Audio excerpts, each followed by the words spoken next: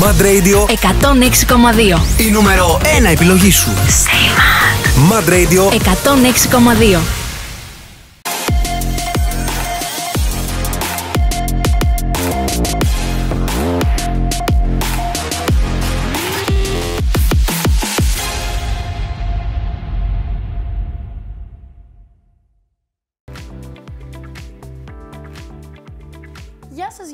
Καλώς ήρθατε σε ένα ακόμα Fit Me Up. Είμαι η Αθηνά Κλήμη Είμαι η Βυργινία Δικαιούλια. και είναι μια πάρα πολύ ιδιαίτερη εβδομάδα για μας γιατί είναι Mad Girl Power Week by Alustre. Έτσι, γιατί αγαπάμε τους ε, εαυτούς μας, αγαπάμε ε, που είμαστε κορίτσια και αγαπάμε και όσους αισθάνονται κορίτσια. Και αυτό δεν θα πρέπει να το κάνουμε μόνο την Παγκόσμια Μέρα της Γυναίκας, αλλά κάθε μέρα.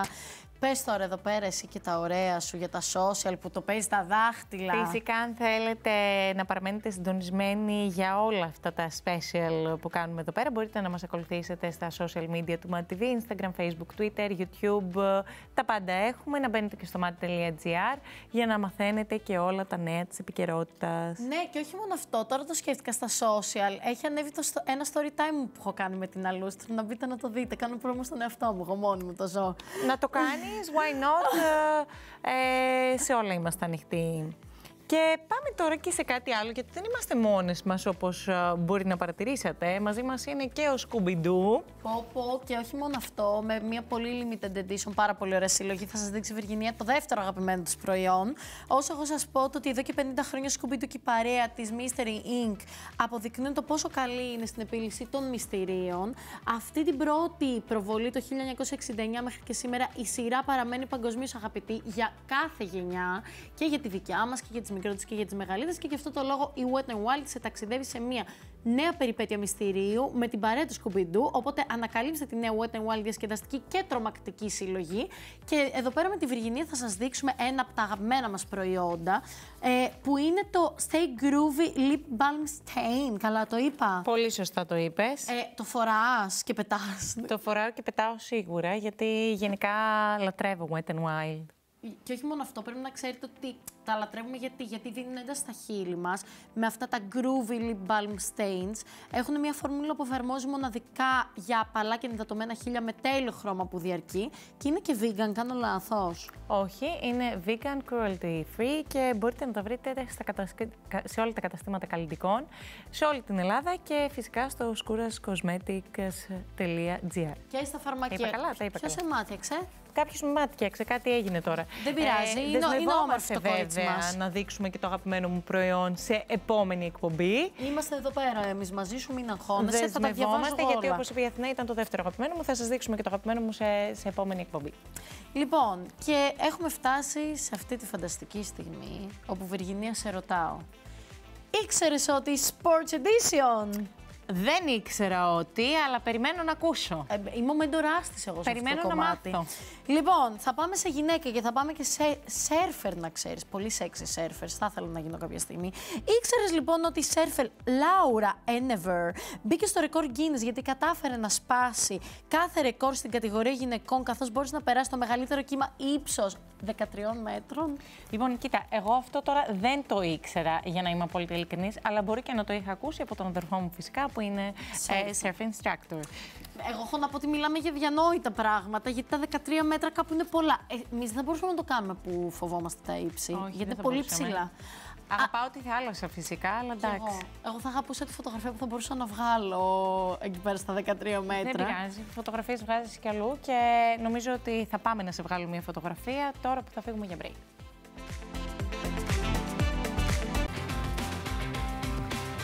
Επιστρέψαμε εδώ πέρα στο Mad TV που είναι και μια ε, ιδιαίτερη εβδομάδα.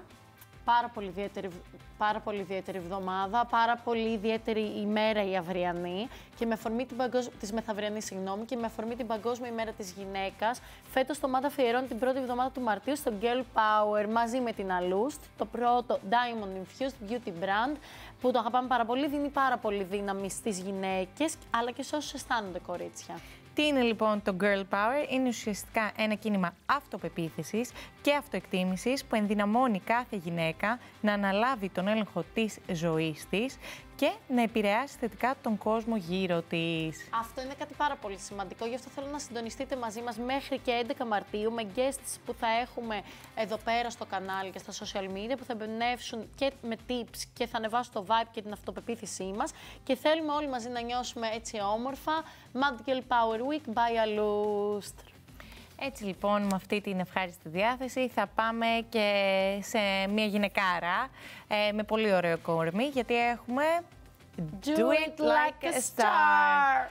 Πάμε να δούμε λοιπόν ε, σήμερα πώς η πρωταγωνίστρια του Creed διατηρεί το καλοσχηματισμένο της κορμί. Μιλάω φυσικά για την Tessa Thompson και αρχικά να πούμε ότι η γνωστή ηθοποιός γυμνάζεται τέσσερις φορές την εβδομάδα. Εντάξει, Καλά είναι. Καλά είναι, καλά είναι. Πάει στο γυμναστήριο, ενώ σίγουρα πηγαίνει και μία φορά την εβδομάδα για τρέξιμο στη φύση. Αυτή είναι μία έξτρα φορά, εντάξει, αλλά είναι πιο, έτσι, είναι Θα πιο ακούει και τη chill. μουσική της. Μπράβο. Να σας πούμε κιόλας ότι έχει ιδιαίτερη προτίμηση στις προπονήσεις ενδυνάμωσης, καθόλου φίλη μου η Τέσσα, στις προπονήσεις κάρντιο και στο crossfit, καθόλου φίλη μου η Α, Τέσσα. εμένα Τα πολύ είπα. φίλη μου. Εσείς Αρέσει μπορείτε να αυτό. κάνετε παρέα, εμείς μακριά και αγαπημένες και να πούμε ένα έξτρα τύπο ότι δεν ξεχνάει ποτέ να κάνει 30 λεπτά διάδρομο πριν από οποιαδήποτε προπόνησή της. Αυτό είναι φαντάζομαι και το ζέστα μάτι. Ναι, π- υπερβολή, θα μπορούσε να κάνει ένα τέταρτο. Εντάξει. Η Τέσσα θα, της αρέσει η γυμναστική. Της αρέσει η γυμναστική, της αρέσει ένας τρόπος γυμναστικής που ας πούμε, δεν θα προτιμούσα και νομίζω ότι κάπως έτσι μπορούμε να πάμε και σε break γιατί περιμένουμε και καλεσμένο.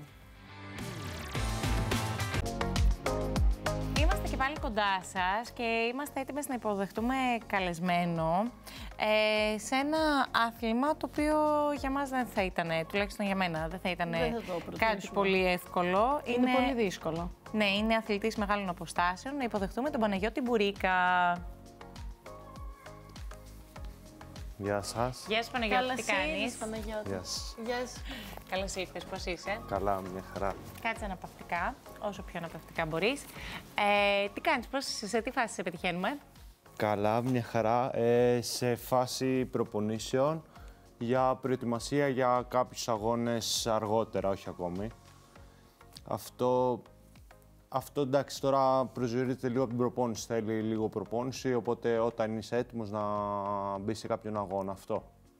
Να τα πάρουμε λίγο τα πράγματα από την αρχή. Εσύ πότε ξεκίνησες να μπεις στο τρυπάκι μιας πιο υγιειν, υγιεινούς βασικά τρόπους ζωής και μετά, μετέπειτα, να γίνεις αθλητής μεγάλων αποστάσεων; Εγώ ξεκίνησα συγκεκριμένα το 2011 όταν ε, και ήρθα στην Αθήνα γιατί ζούσα επαρχία, εκεί μεγάλωσα ε, και ξεκίνησα να μπω σε ένα στάδιο έτσι να κάνω λίγο προπόνηση για μένα, για τον εαυτό μου, διατροφή και όλα αυτά ε, και μετά το 2015 μπήκα στο τρέξιμο και είπα να ασχοληθώ με το τρέξιμο.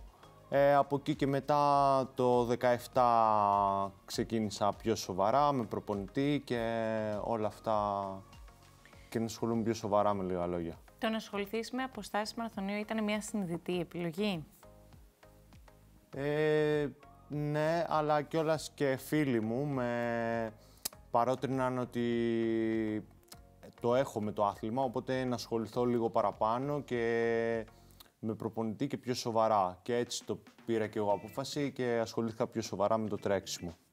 Πόσο καιρό σου πήρε μέχρι να φτάσεις σε ένα καλό επίπεδο στο συγκεκριμένο κομμάτι, σε ένα επίπεδο καλής αντοχής και φυσικής κατάστασης, να το πούμε αλλιώς; Ε, μου πήρε πέντε χρόνια σ- περίπου, αλλά πέντε χρόνια πολύ αυστηρά, με όλη τη ζωή μου να είναι γύρω από το τρέξιμο και γι' αυτό το στόχο. Και πέτυχα το 2021 την επιτυχία μου, τη μεγαλύτερη επιτυχία που έχω, να βγω δεύτερο στο μαραθώνιο της Αθήνας.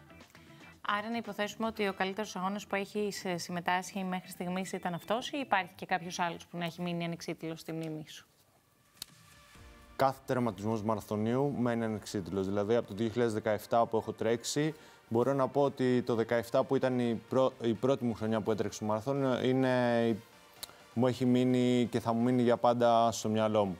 Αλλά όπως και να έχει, το μετάλλιο ήταν το 2021, οπότε αυτή ήταν η πιο σημαντική για μένα. Αυτό. Η εμπειρία αυτή πώς ήταν και επίσης έχει υπάρξει ποτέ κάποιος αγώνας που να νιώθεις τέτοια κόπος που να λες πω πω τώρα δεν μπορώ άλλο, δεν θα τα παρατήσω. Ε, Εντάξει, αυτό είναι κομμάτι περισσότερο προπονήσεων και πόσο καλά έχεις προπονηθεί για αυτό που πας να κάνεις. Ε, τώρα να έχω πει να εγκαταλείψω έχει περάσει από το μυαλό μου, αλλά όχι πολλές φορές, μία-δύο φορές να έχει περάσει από το μυαλό μου να εγκαταλείψω τον αγώνα. Ε, συνήθως δεν χρειάζεται να, σε αυτό το άθλημα δεν χρειάζεται να κάνεις σκέψεις ε, στο να εγκαταλείψεις, γιατί όσο το σκέφτεσαι τόσο πιο κοντά είναι το να εγκαταλείψεις και δεν το θέλουμε αυτό. Γιατί είναι μια πολύ μεγάλη προετοιμασία για το μαραθώνιο και δεν είναι εύκολο να βγει η προετοιμασία. Εγώ θα σε ρωτήσω κάτι άλλο τελείως διαφορετικό. Πώς είναι η επόμενη μέρα, γιατί ε, ειλικρινά για μένα οι μεγάλες αποστάσεις φαντάζομαι κάτι πολύ μακρινό και θέλω να παραμείνει κάτι μακρινό και πολύ δύσκολο και γι' αυτό τις έχω έτσι μακριά. Ε, αλλά ακόμα πιο δύσκολη φαντάζομαι την επόμενη μέρα που είσαι πιασμένος, κουρασμένος. Για εμένα προσωπικά η επόμενη μέρα είναι, είναι μια χαρά. Διότι έχω δουλέψει και όλοι οι αθλητές βασικά έχουν δουλέψει τόσο πολύ στην προπόνηση και έχουν φτάσει το σώμα τους και τους μύστους ε, τόσο στο όριο που κάθε μέρα μπορεί να πονάω. Δηλαδή, αύριο μπορεί να πάω να τρέξω και να πονάω από την προπόνηση. Οπότε ο μαραθώνιος στην ουσία δεν είναι κάτι, είναι η απόδειξη. Ο αγώνας είναι η απόδειξη. Και δεν, πιστεύω, δεν πονάς όσο πονάς μέσα στην προετοιμασία. Από κούραση, έτσι, από κόπωση πάντα. Ε, τώρα εντάξει, η πρώτη μου εμπειρία στο μαραθώνιο του 2017, όντως την επόμενη μέρα δεν μπορούσα να προπατήσω αλλά ήταν και η πρώτη συμμετοχή, ήταν όλα διαφορετικά. Κάθε χρόνο μαθαίνεις και γίνεις καλύτερος. Ποιο θεωρείς ότι είναι το α και το ω για έναν άνθρωπο που πάει να τρέξει τόσο μεγάλες αποστάσεις; Τι χαρακτηριστικά θα πρέπει να έχει; Καταρχήν πιστεύω πως όλοι μπορούν να τρέξουν ένα μαραθώνιο. Δηλαδή για κανένα δεν είναι κατόρθωτο και δύσκολο. Μην με κοιτάτε καθόλου. Κοιτάζω αλλού επίτηδες, να το ξέρετε. Σφυρίζω κλέφτηκα. Ε, και πιστεύω ότι αυτό που λένε το πανμέτριον άρτιστο, δηλαδή σε όλα πρέπει να έχεις ένα μέτρο, δηλαδή να κάνεις την προπόνησή σου όσο πρέπει, να κάνεις τη διατροφή σου όσο πρέπει, γιατί ο μαραθώνιος και διατροφή χρειάζεται και, και χρειάζεται και το λιπαρό φαγητό για να έχεις ενέργεια να τρέξεις. Δηλαδή δεν είναι μόνο διατροφή και δίαιτα ή τώρα το θέμα προπόνησης πρέπει να είσαι αυστηρός, αλλά να μην υπερβάλλεις ποτέ, γιατί όταν θα υπερβάλλεις θα έρθει ο τραυματισμός. Δηλαδή όλα αυτά θέλουν ένα μέτρο. Υπέροχο. Νομίζω ότι έχει έρθει η στιγμή να πάμε στο πρώτο μας ε, break και επιστρέφουμε για να συνεχίσουμε. Παραμείνετε συντονισμένοι.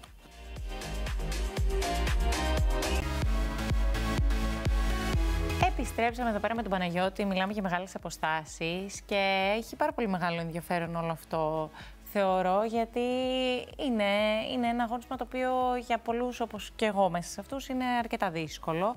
Ε, η προετοιμασία τι περιλαμβάνει, πώς είναι οι προπονήσεις σας προκειμένου να πάτε και να τρέξετε αυτούς τους αγώνες; Ε, η προετοιμασία καταρχήν για ένα μαραθώνιο κρατάει περίπου τρεις με τέσσερις μήνες, ανάλογα τώρα τι στόχο έχει θέσει ο κάθε αθλητής, πόσο αρχάριος είναι. Δηλαδή, τώρα για έναν αρχάριο αθλητή θέλει τέσσερις μήνες γεμάτους. Πόσο προπονεί την εβδομάδα, Αυτό εντάξει, εξαρτάται πάλι από το επίπεδο του καθενός και τι θέλει να πετύχει. Τώρα, στο, στο επίπεδο το δικό μου και αυτό που κάνω εγώ, θέλει κάθε μέρα προπόνηση και είναι και κάποιες μέρες πρωί-απόγευμα.